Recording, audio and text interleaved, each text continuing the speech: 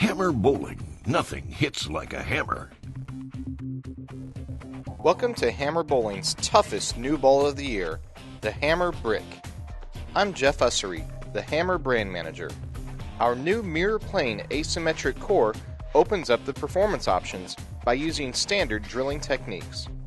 As you can see from the core images, our new brick core features an asymmetric plane down every axis of the core. This means using two standard drillings, such as a 4 inch pin to axis and a 5 inch pin to axis, will create a wider range of performance than using standard asymmetric or symmetric cores would yield. Make sure to check out how drilling the new brick core affects ball motion by using Powerhouse's new Blueprint software. Our Hammer video team is back to show you five different styles throwing the new Hammer brick. Today they'll be throwing the balls on Kegel's Stone Street pattern, a slicker lane pattern than we've used in past video sets. Due to the brick's aggressive motion down lane, we needed a slicker lane environment to show you the true strengths of this new Hammer product.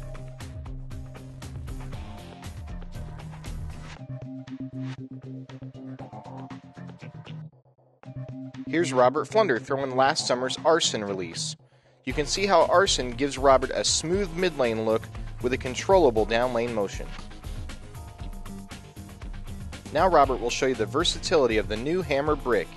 You'll see more continuation down lane as Robert starts on the same line as his Arson and then continues further left throughout the video shots. You can see in the videos that the new Hammer Brick is a longer and stronger down lane motion than the Arson from last summer.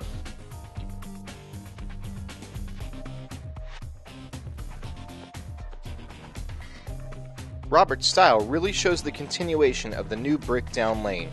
You can see the back end motion of the mirror plane asymmetric core as it enters the 1 3 pocket and continues through the 8 pin.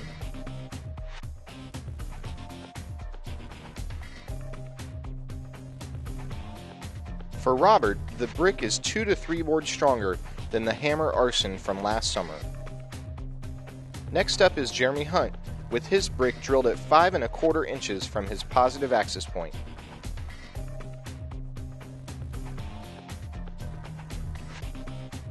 Here's Jeremy throwing the Hammer Arson with its symmetric core shape.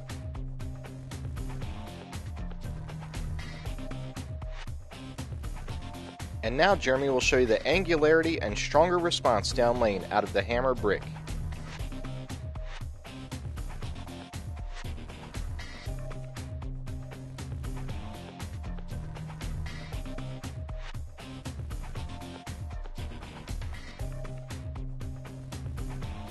Jeremy's ball always crushes the pins, but the new brick sucks the pins off the deck.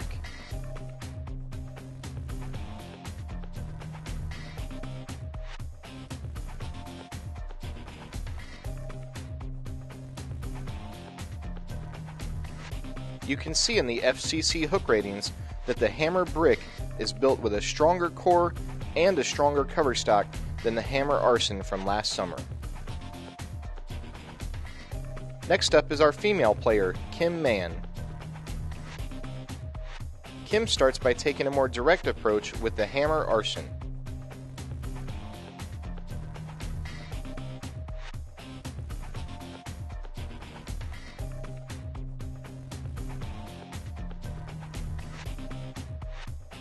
The stronger response down lane gives Kim the confidence to throw the hammer brick on this Kegel Stone Street pattern.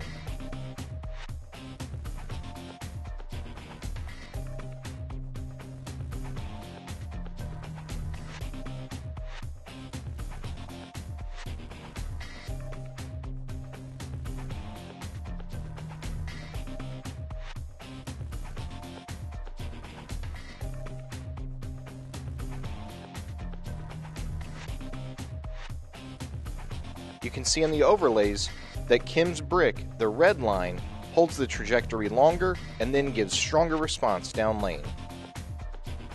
Sean Lee's up next with a 4 and 5 8 inch pin to positive axis point distance on his new hammer brick.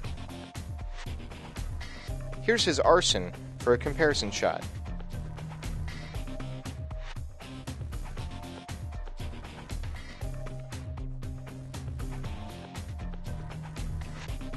Now you'll see Sean with the new hammer brick, and once again you'll see stronger downlane continuation and more hook overall than the hammer arson. You can see Sean open the lane up here with the hammer brick as it barrels through the 8 pin, clearing the deck.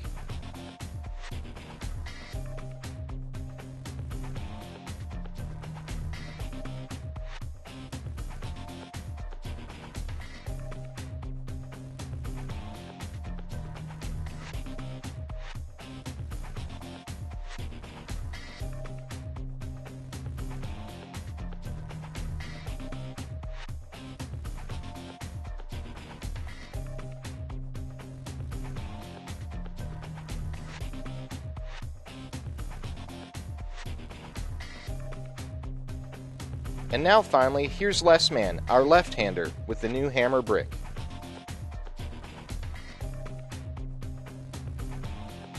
You can really see the two differences in the products here with Les's game. The Arson is an earlier and smoother read overall, with more of a mid-lane shape, whereas the brick is longer and stronger off of the break point, giving the bowler more hook and more back-end motion.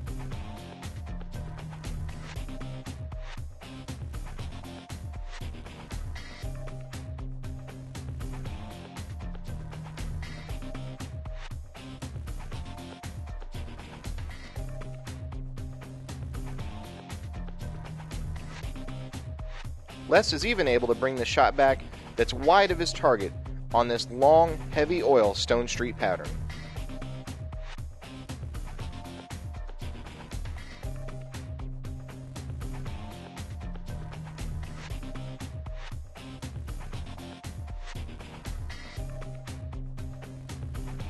For our lefty video tester, the brick is far stronger than the arson from last summer.